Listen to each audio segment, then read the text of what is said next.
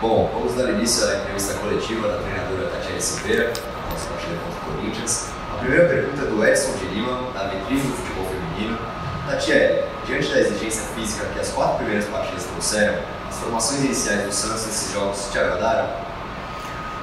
Boa tarde, Edson. É, sim, é, acho que nós, nós estamos né, reencontrando, encontrando essas formações e eu acredito muito no que a gente tem colocado em campo, né, principalmente nesses minutos iniciais, o time que um time mais maduro, um time consistente que está enfrentando né, esse momento de instabilidade junto. E a gente fez algumas alterações, eu acho que principalmente do primeiro jogo né, para, os, para os demais. Mas, mais uma vez, hoje nós vimos aí uma evolução da nossa equipe de primeiro para segundo tempo. O resultado, com certeza, ele não é o esperado e, e a gente sempre vai lutar por, por vitórias. Mas acho que tem agradado e a gente vai sempre encontrar o melhor momento de quem está à disposição. E essa é, acho que é o nosso maior desafio. Quem está bem naquele momento e aí entender que se, se inicia entre as 11 titulares ou não. Pergunta do Arthur, do Sereias Underline da Vila. Boa tarde. A Jane não vem entendendo bem. Por que não experimentaram com jogadoras jovens como Marúcia e Ana Luísa? Você acha que elas ainda estão cruas ou abaixo das demais? Boa tarde, Arthur. É, as meninas têm uma qualidade muito grande, todos nós sabemos disso, né? É, como eu falei, acho que a gente está buscando aí um entrosamento, buscando é, afirmar as nossas convicções com essas atletas que vêm sendo utilizadas. E é isso, nós temos convicções do trabalho, do que está acontecendo. É, a Ana Luísa é, esteve uh, fora de alguns treinamentos por pequenas lesões, pequenos desconfortos, não treinou uh, diretamente. A Marucci vem fazendo o seu trabalho e vem evoluindo. Com certeza elas vão ganhar a minutagem que elas precisam para ganhar sim esse amadurecimento. Então eu acho que o momento que a gente achar oportuno para utilizar as meninas, com certeza elas serão utilizadas e elas terão essa oportunidade sim. Elas fazem parte do nosso elenco e elas podem ser utilizadas a qualquer momento. Pergunta da Natália Santana.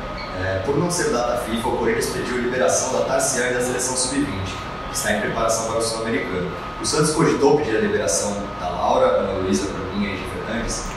É, esse é um, para mim é um assunto muito delicado, né? Porque para mim não faz, não fez sentido nenhum essa, essa, esse planejamento, né, da CBF, seleção sub-20, onde eu libero as meninas para trabalhar na segunda-feira e na quinta eu recebo uma, um comunicado de que eu posso contar com elas novamente. Aí eu treino a semana inteira a minha equipe pro clássico e na quinta-feira eles ah, tu quer? Ah, então tá, pode buscar. E, cara, eu acho que a gente tem, tem que respeitar o trabalho do clube também. Nós é um maior prazer liberar as meninas e é claro que elas queriam estar aqui, só que não atendeu a nossa logística interna do clube, né? Conversamos muito, eu e a Chave, conversamos com as meninas, inclusive, uh, ah, para deixar bem transparente dos, do, dos motivos que elas não estariam aqui, porque nós recebemos sim também essa possibilidade e não atendeu a logística do clube. E trabalhamos com um elenco que permaneceu que fez o, tra o, o trabalho da semana inteira. É claro que as meninas sempre vão acrescentar, as quatro, sempre, óbvio. Mas nós entendemos que não atendeu a logística do clube naquele momento e infelizmente não contamos com as atletas nessa partida. Pergunta agora do Victor de Andrade, do O Curioso do Futebol. Boa tarde, Tatiele. Nas quatro primeiras rodadas, o Santos enfrentou duas das equipes que devem lutar pela ponta da competição: Palmeiras e agora Corinthians. Pensando é, passando por esses dois jogos complicados, o Santos tem possibilidade de somar mais pontos e chegar nessa zona de classificação? Com certeza, com certeza. É, nós estamos buscando isso, né? A pontuação. É, foram quatro jogos aí onde nós, é, infelizmente, essas duas últimas partidas, sofremos esses gols, fomos penalizados é, nesses últimos minutos. Conta com certeza que é o detalhe, é a atenção, são jogos de extrema qualidade, onde a gente tem que manter o nosso alto nível de concentração até o minuto final. É, hoje, mais uma vez, fizemos um, um, um segundo tempo uh, com mais consistência, buscamos o gol de empate, e aí o detalhe de novo, né? Como eu falei, fomos penalizados pela, por nós mesmos, onde nos detalhes a gente falha. É, com uma equipe de qualidade pode ser determinante. Então é levantar a cabeça, continuar trabalhando. É, eu sempre enalteço o trabalho das meninas, né? Eu acho que mais uma vez nós fizemos uma semana de altíssimo nível, com um comprometimento absurdo com o trabalho, com um comprometimento absurdo com se superar, se reerguer, o como trazer de volta, né? Esses bons momentos, porque o ambiente uh, vitorioso ele, fica, ele se torna mais leve para trabalhar. E elas vêm trabalhando com essa pressão, eu diria uma pressão é, natural e individual, porque elas se cobram, a gente se cobra. E elas não têm baixado a cabeça, a semana tem sido assim, ó, de um trabalho muito, muito, muito uh, uh, de qualidade. E, e, infelizmente hoje o resultado também na, na, acabou não sendo o que a gente esperava. Então, as próximas partidas, cara, é nova história. Nova história, cada jogo é uma história, eu não posso misturar o jogo, o primeiro com o segundo, o segundo com o terceiro, ah, mas é outro clássico, aí. Não. Agora que vem pra frente, é, agora eu vou pensar no Havaí, é sair fora de casa, é buscar essa mesma atuação que nós terminamos desse jogo, que eu tenho certeza que o torcedor ele tá vendo o quanto elas, elas estão entregando, né? E buscar essa pontuação aí nas próximas rodadas para sim é, buscar é, a, a, a, soma e sim um, as, as, colocações, né? uma melhor colocação dentro da, da competição e voltar para a etapa de, de classificatória. Agora a pergunta do Thiago Lanes, do Santos Play, do Santos Depressivo. Tatiane, o Santos sentiu muito nas transições, tanto defensivas, sem espaço para a equipe do Corinthians para construir, quanto nas ofensivas, com dificuldade para encontrar passe e rompelinhas. Você cogita mexer no sistema de jogo ou mudanças táticas? Boa tarde. É, eu eu não, não acredito que uh, a estrutura, a plataforma, ela seja né, a responsável por, pelos, acho que pelos, pelos equívocos. É, acho que nós sofremos um pouquinho na transição defensiva, concordo. Né? Acho que a transição defensiva ela, a gente permitiu né, acelerações que a, gente não, que a gente não deve permitir, mas a plataforma eu não acredito que, que seja às vezes a, a solução, mas sim é, comportamentos, é a mudança de atitude, é a mudança de como a gente vai abordar esse, essa fase do jogo, é, refletir, entender, fazer uma grande avaliação desse momento e, e conseguir é, adaptar e colocar em prática aquilo que nós, que nós pensamos para essa partida. Né? Alguns momentos nós conseguimos sim. Colocar exatamente o que a gente imaginava. Outros momentos nós sofremos com, de novo, uma grande equipe. Nós temos que entender né, o, o momento daquele, daquela equipe e consertar dentro do jogo. Né? Essa é, é, a dificuldade, mas eu acredito muito que a gente possa não só uh, usar né, uma outra plataforma, mas é ajustar comportamentos. Pergunta do Guilherme Cardoso, do SS Deluxe. Boa tarde. O Santos perdeu dois clássicos com gols nos minutos finais quanto isso afeta emocionalmente o time e quanto isso te preocupa? Boa tarde. Uh, as meninas têm lidado muito bem com esses momentos e nós estamos vendo isso com, com a, inquieta, a inquietação e, e, até aquela a indignação, né? A gente fica, a gente fica. Estamos todos indignados. Estamos todos indignados não com um A, B ou C, não, indignados com o, o momento, né? E essa indignação a gente tem que usar de maneira positiva, né? Eu preciso usar é, esse momento de, de, de autocobrança, de autoanálise, tanto nós dentro da comissão técnica como da, das meninas, para que a gente torne esse momento mais forte, né? Que isso nos torne mais forte.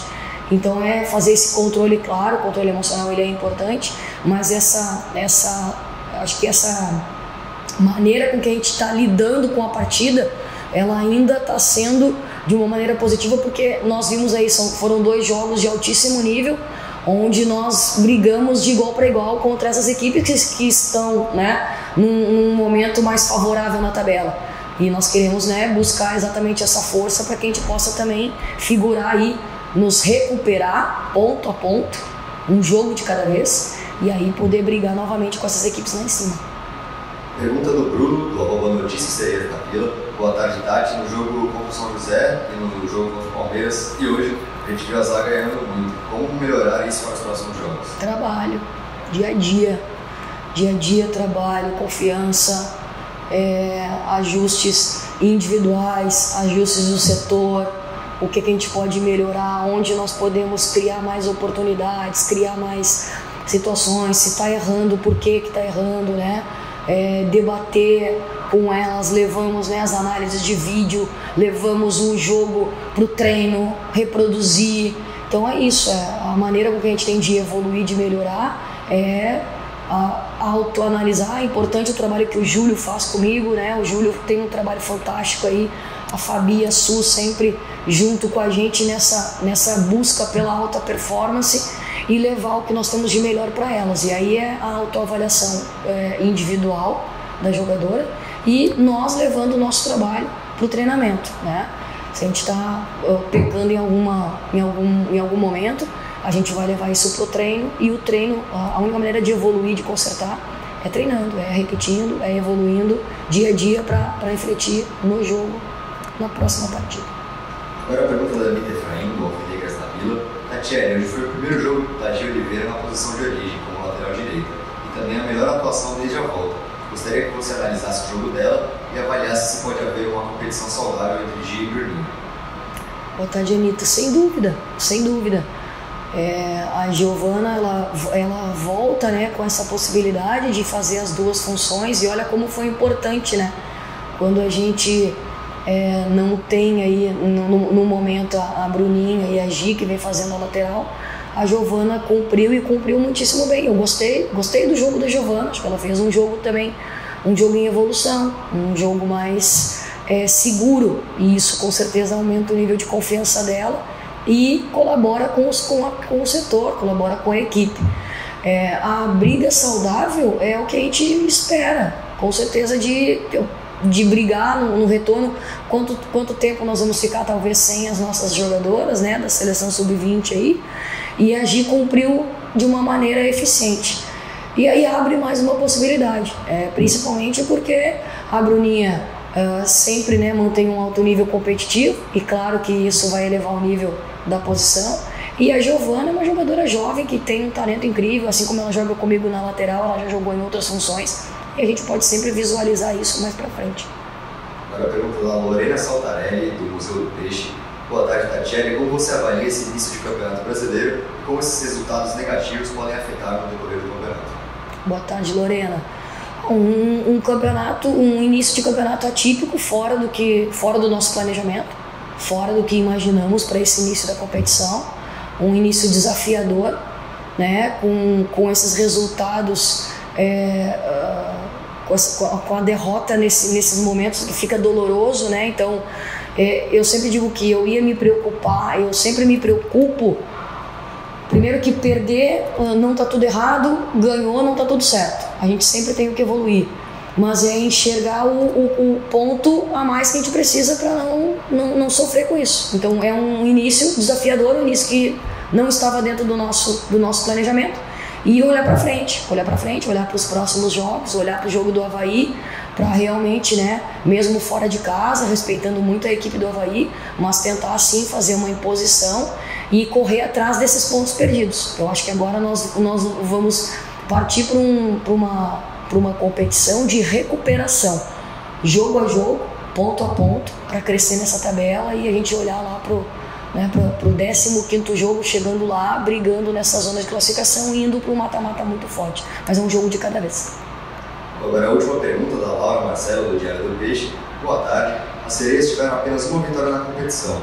Mostraram dificuldades nos jogos fora de casa e em clássicos. O que fazer para buscar a recuperação da competição para entrar na zona de classificação? É, eu acho que eu vou ser redundante aqui na minha resposta. De novo, muito trabalho, enxergar, é, ter a humildade de entender o que estamos pecando, é, ter a humildade de, de buscar aprendizado a cada jogo. Uh, dentro da, da, nossa, do nosso staff, dentro da nossa comissão, a gente abre um debate sempre muito grande uh, com as meninas, porque elas estão ali, elas estão no jogo, elas estão sempre tentando se ajudar e, e, e, e consertar, levar isso para o treinamento, como eu falei, se estamos pecando, a gente vai entender o que estamos pecando e melhorar, seja, seja fase do jogo, seja individualmente. E, e como eu falei, é brigar ponto a ponto agora, né? Nós vamos para uma, acho que uma competição de recuperação. Confiamos muito, eu confio muito no meu grupo de trabalho, eu confio muito no que elas, no que elas podem nos entregar e, e a gente vê isso a cada jogo, mesmo na derrota, a gente vê né, o quanto a gente está A gente tem oscilado alguns, alguns momentos dentro do jogo, sim, o que é natural. Né? Um jogo sofremos mais, outro jogo a gente consegue chegar um pouco mais à frente, perdemos gols, fizemos gols. É, fazer gols em grandes equipes também é difícil, então a gente tem que enxergar esses momentos. E aí é levar isso para a semana. Agora nós teremos aí mais quatro dias de trabalho, quatro dias de preparação, cinco dias, e vamos para esse enfrentamento com, com o Havaí fora de casa. E como eu falei, mesmo sabendo né, que é um jogo fora da nossa, né, do nosso domínio, a gente buscar fazer um jogo de alta performance, de alto rendimento, elevar o nosso nível e, e consertar esses detalhes que nós estamos pecando aí para buscar um resultado positivo, mesmo fora da nossa casa. Perfeito, muito obrigado, professor. Encerramos a entrevista coletiva. Obrigada, boa tarde a todos.